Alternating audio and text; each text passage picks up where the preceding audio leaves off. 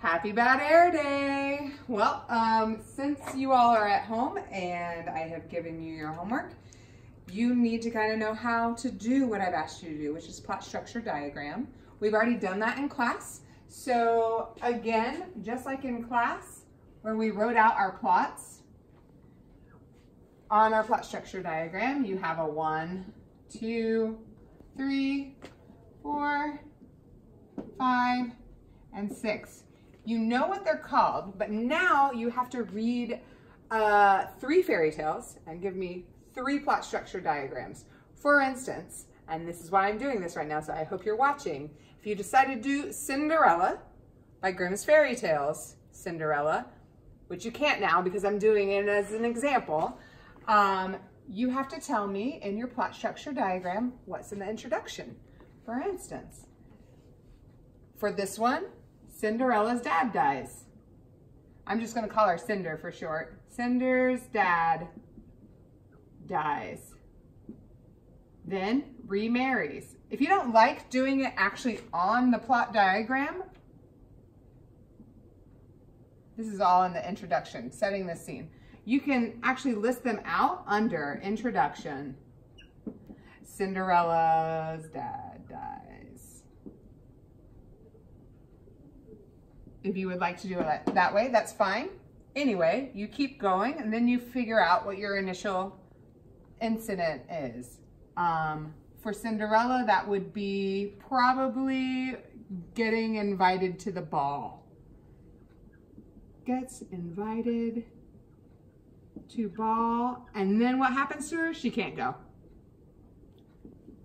You would continue up your plot structure, cleans all the dishes, yada, yada, yada. Birds come and give her a dress. Yes, it's not like the Disney version. There's no mice making her dress. Come give dress. She cries at a tree for her mom. All of this stuff is all happening in the rising action.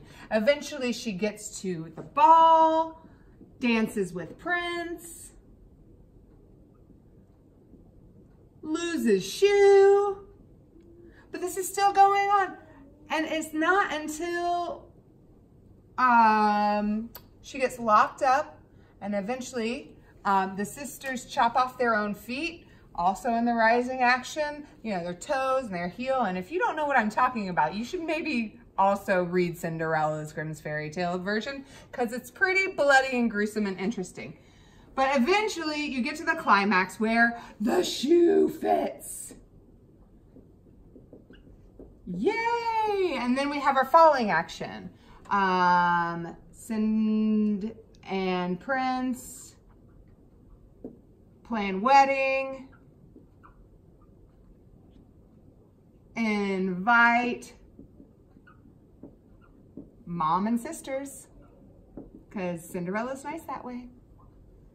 But as that happens, the resolution slash denouement, mom's eyes get plucked out, not plucked out, poked out? Pecked out, that's the word. Pecked out by birds. And everyone else lived happily ever after. So you're gonna do a plot structure diagram for three Grimm's fairy tales. Even if you think you know the fairy tale because you say, oh, I know Cinderella. As you can tell from this one, you probably don't. P.S. Don't do Cinderella. All right, enjoy your bad air day.